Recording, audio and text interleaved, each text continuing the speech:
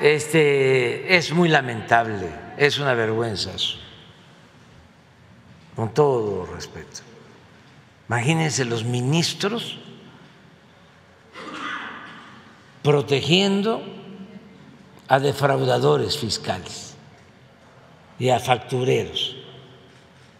Aunque digan lo que digan, es proteger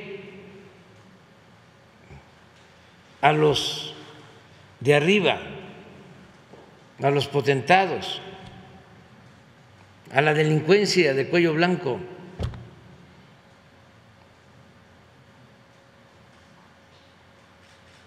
Ayer fue un mal día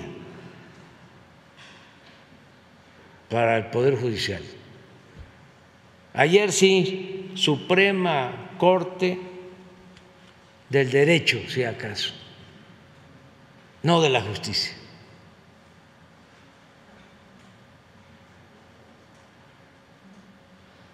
No es posible eso.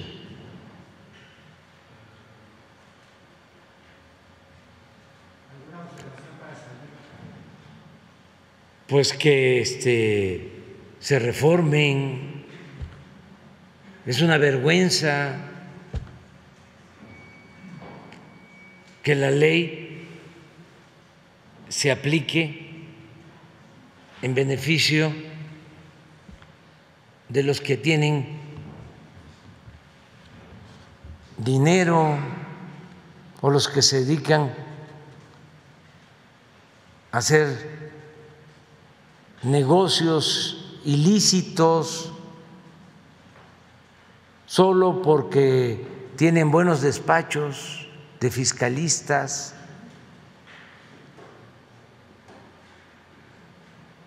¿Y el pueblo?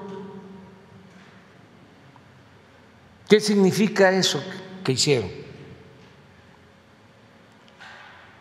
Que de una u otra manera le dan impunidad a los que defraudan la hacienda pública. Y defraudar la hacienda pública es defraudar al pueblo.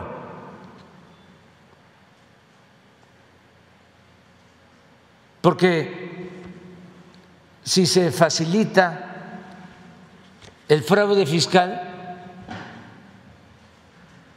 hay menos ingresos para la hacienda pública, menos presupuesto, menos recursos para la educación, para la salud, para el desarrollo del país en beneficio de una minoría? ¿Eso es justicia?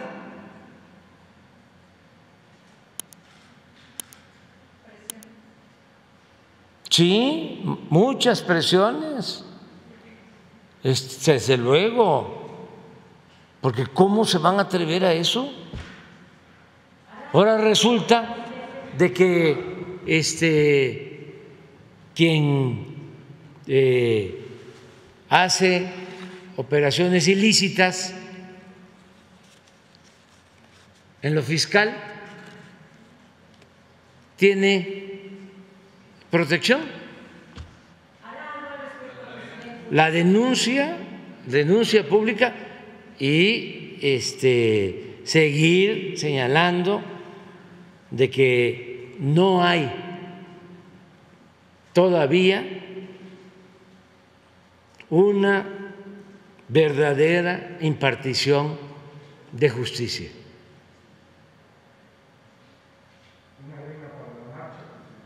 No, eso ya la gente lo sabe, o sea, también la gente sabe de que se necesita por eso continuar con la transformación. Porque estamos hablando de siglos de ese comportamiento faccioso, siglos en que las instituciones al servicio de las minorías siglos de que solo se castiga al que no tiene con qué comprar la inocencia. Siglos. Y se ha ido avanzando mucho, pero falta. Por eso es importante lo que está sucediendo. Hay quienes quieren el retroceso, retrogradar, que siga lo mismo de antes. Afortunadamente ya la mayoría de los mexicanos quiere un cambio verdadero, no simulación, no gatopardismo, eso de que en apariencia las cosas cambian para seguir igual, no. Hechos. Increíble. Solo dos mujeres. Por eso hay que seguir impulsando la participación de las mujeres, mujer más trabajadora,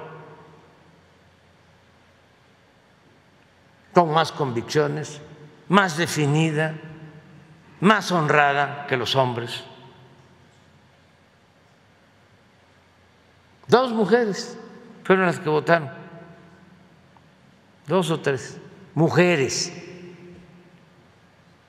Todos los demás como empleados de los machuchones.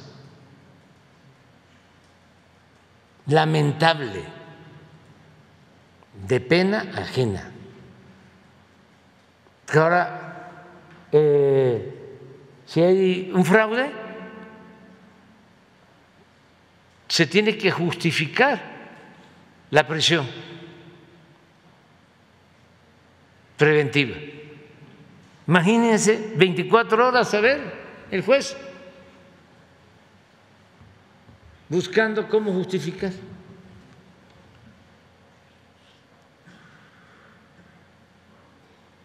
Nada una actitud leguleya, ni siquiera apegada a la legalidad, una caricatura de Estado de Derecho. Es lo mismo, igual. Es decir, ¿por qué eh, le diste libertad a este eh, delincuente? Ah, es que estaba mal integrada la averiguación. Lo mismo.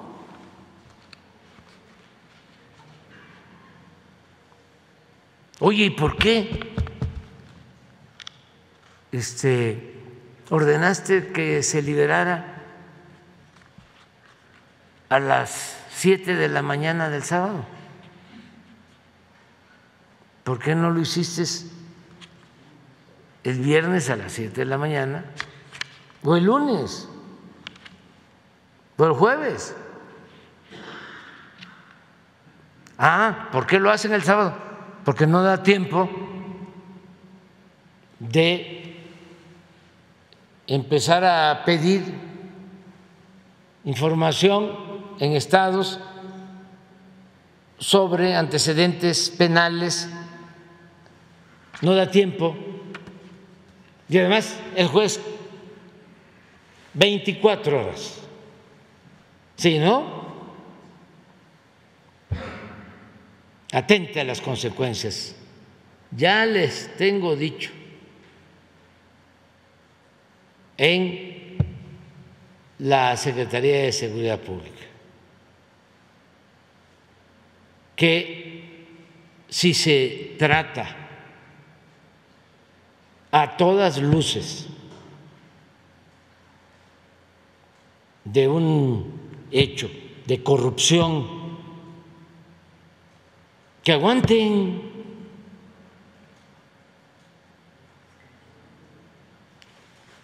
que envíen un escrito al juez. Yo no puedo porque yo tengo otros datos. Y que se aguanten. A mí me obligaban. Cosa juzgada, ya, la Suprema Corte, a pagar, me acuerdo la cantidad cuando era jefe de gobierno, me acuerdo la cantidad porque es una fecha histórica, 1.810 millones de pesos.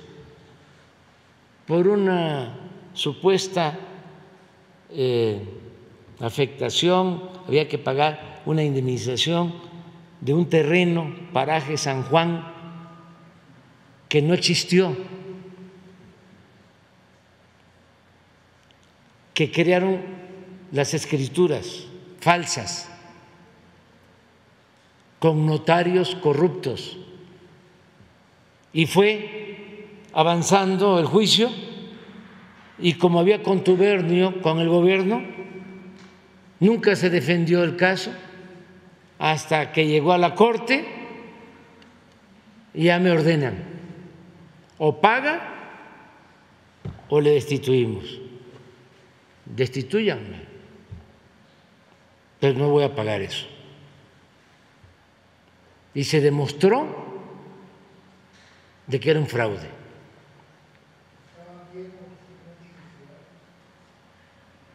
Estaban metidos ahí puro coyote. Sí, sí, sigue. Bueno, esto que estamos viendo de lo de ayer es una vergüenza. O sea, ¿cuánto daño hicieron con las facturas falsas? Eso lo crearon hace 12 años. Yo me acuerdo que este creo que en la campaña de el licenciado Peña Nieto se descubrió un movimiento de dinero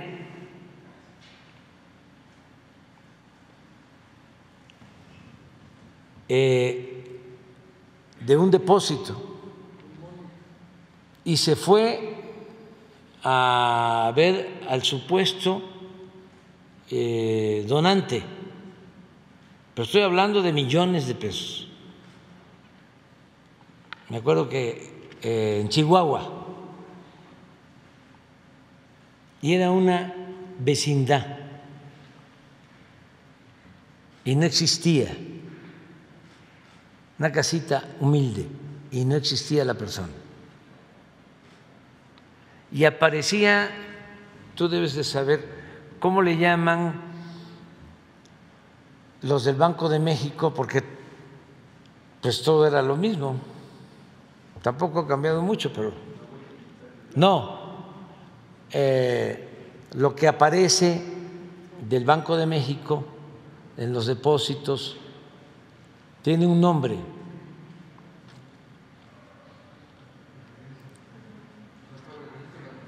Es un registro de transferencia, pero tiene un nombre. No. Este. Este. ¿Qué creen que hicieron en el Banco de México?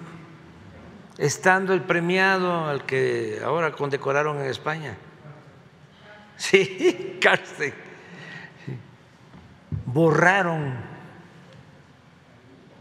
el, el skate Spey, Spey, Spey. Le voy a decir, lo borraron. Lo borraron.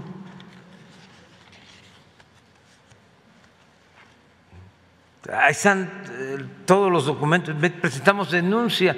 Fue eh, aquello, pues todos los que defienden el INE, ¿no? Que hablábamos de que pues había dinero ilegal y mucho dinero que habían rebasado los topes de campaña con mucho y este y resolvieron de que no que los que habían rebasado el tope de campaña hayamos sido nosotros. Así está en la elección del 12. Entonces, una vergüenza, después pues ya sale lo de Odebrecht, ¿no? Y ya todo lo que sabemos. Pero ¿se acuerdan en el 2006? Lo mismo.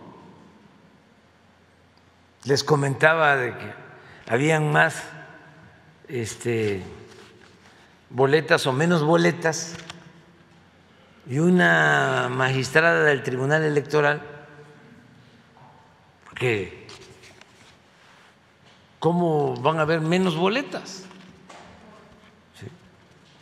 Una este, magistrada llegó a decir de que los jóvenes iban a votar, pero no depositaban la boleta, sino se la llevaban de recuerdo. Entonces muchos jóvenes llevaban sus boletas de recuerdo. Así está. Esos eran los fraudes, pero de distintas formas, de distintas maneras eran los fraudes. Pero así ya nos vamos a recibir.